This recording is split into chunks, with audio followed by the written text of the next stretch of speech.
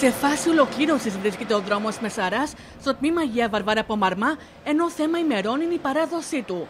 Αυτό δήλωσε από το Ηράκλειο ο Γενικός Διευθυντής Συγκοινωνιακών Έργων του Υπουργείου Υποδομών Γιάννης Καρνέσης, ο οποίος προχώρησε σε αυτοψία. Α μην μιλήσουμε καλύτερα για προθεσμίες και για ημερομηνίες. Ε, το έργο θα ολοκληρωθεί ώστε να μην έχουμε προβλήματα με την Ευρωπαϊκή Επιτροπή και ε, πιστεύω ότι είναι απόλυτα εφικτό με τα δεδομένα που υπάρχουν ε, σήμερα. δηλαδή ότι είναι θέμα ημερών. Είναι θέμα λίγων ημερών.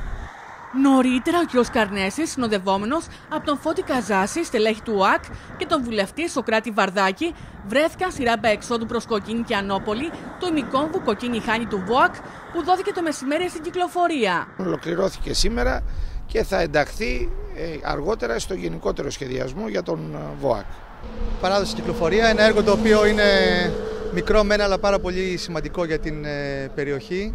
Ε, ένα έργο το οποίο μας ταλαιπώρησε πάρα πολύ. Χρειάστηκε να γίνουν ακόμη και νομοθετικές παρεμβάσεις προκειμένου να μπορέσει να υλοποιηθεί αυτό το έργο. Εν τέλει όλα καλά, μετά από πολλές δικαστικές διαδικασίες αλλά και έτσι χρόνο το έργο παραδόθηκε.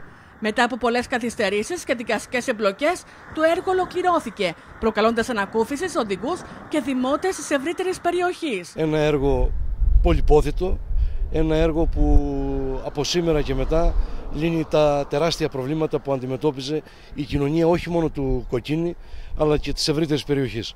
Παράλληλα, ο κ. Καρνέσης αναφέρθηκε σε εξελίξεις που υπάρχουν γύρω από το μεγάλο αναπτυξιακό έργο, αυτό του Διεθνούς Αεροδρομίου στο Καστέλι. Δημοσιεύτηκε το ΦΕΚ παρακατάθεσης για τις δύο πρώτες ε, ε, υπουργικές αποφάσεις απαλωτριώσεων. Είναι περίπου, μιλάμε για περίπου 400 στρέμματα που πλέον έχει συντελεστεί παρακατάθεση και στο επόμενο διάστημα θα γίνει ε, η απόδοση των χώρων αυτών στον παραχωρησιούχο για να ξεκινήσουν οι εργασίες.